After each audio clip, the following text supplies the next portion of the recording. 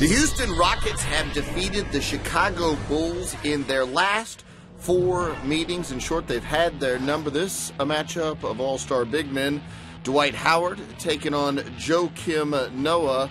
And it's March Madness, so we're, we're going to mention some colleges here. How about Carlos Boozer of Duke?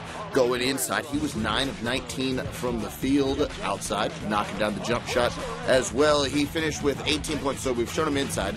We've shown him outside. How about a drive to the basket to finish it off? Chicago up 12 6 at that point. Later, second quarter. This is Mike Dunleavy of Duke trying to take the charge, but he's hit with an elbow above the eye from Chandler Parsons. Looks a little rough there.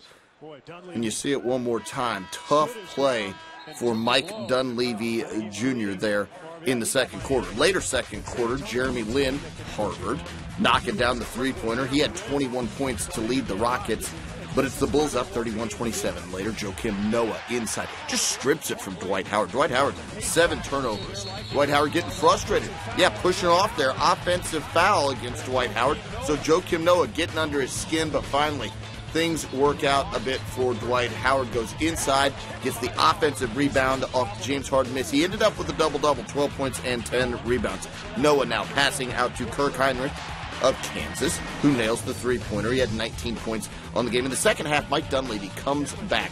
He had 10 stitches to repair the cut, and then he just wanted to get some reparations on the Houston Rockets. Getting it done there with the layup inside, then draws the charge.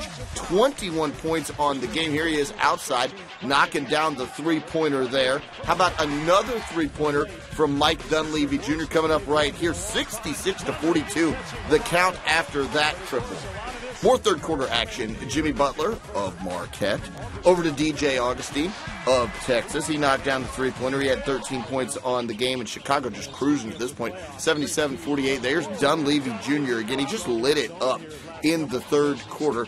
18 of his 21 in quarter number three. Chicago up 83 to 54. Do not cut Mike Dunleavy Jr. He'll get furious. Then Taj Gibson getting furious. Throws that one down uh, over Omer Asik there. Huge jam from Gibson.